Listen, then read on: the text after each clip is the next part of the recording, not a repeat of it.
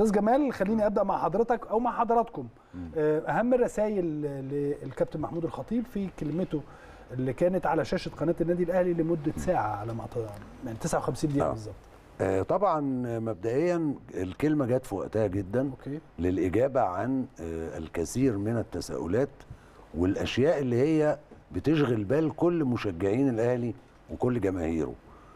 والحقيقة إنه بعض الناس اللي بيحاولوا يصوروا إن ال- الرسائل ما كانتش واضحة كانت واضحة جدا مم. ومحددة وقاطعة وتحدد موقف النادي الأهلي اللي هو دايما بيعتمد على ال- الصوت الهادي نعم. يعني لما حصل قبل كده مؤتمر صحفي ردا على مشا... المشاكل اللي كانت مع الاتحاد الأفريقي ونهائي دوري أبطال أفريقيا برضو كان في رسائل محددة وواضحة وتم الاستجابة وموجهة لمعظمها. وتم الاستجابة لمعظم هذه الأشياء.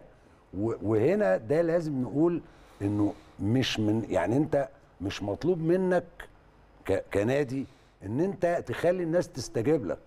بمعنى إيه؟ يجب على الطرف الآخر إن هو يستجيب بما في مصلحة اللعبة. يعني حضرتك يعني- تقصد ليس فرض رأي.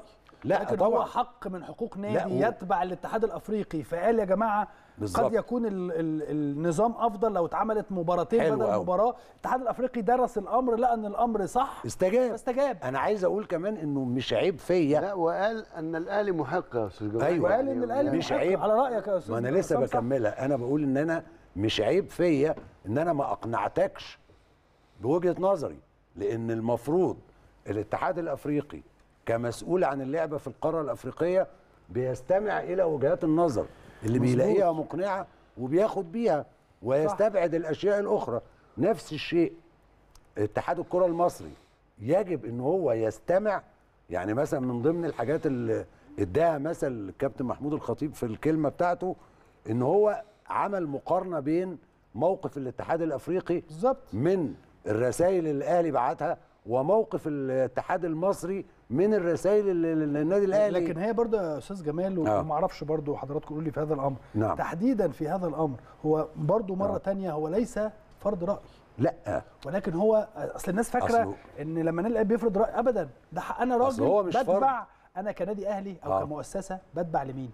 ما هو الدليل على كده إيه الاتحاد المصري لكرة طبعا القدم والاتحاد الأفريقي لا أنا آه. خلينا في الاتحاد المصري دلوقتي تمام الاتحاد المصري دلوقتي مطالب ب آه، إحنا كنادي النادي آه. الأهلي شايف أن هناك قصور كبير جدا في آه، لجنة تحكيم. التحكيم ومش أنا لوحدي لا. لا ده في حاجة كمان يا. كابتن إسلام هو مش النادي الأهلي فقط هو اللي حاسس بأن في قصور اتحاد الكرة نفسه حاسس أن في قصور بدليل آه. إن هو اللي فكر. يجيب كلاتنبرج الإنجليزي للإشراف على تطوير التحكيم. وهنا برضو نقطة تانية مهمة. هل كلاتنبرج ده هيجي يشتغل هو ويحط سياسة لوحده وينفذها ولا هيبقى معاه برضو مجموعة مصريين الناس بتشتكي منهم ايا كان محدش مين؟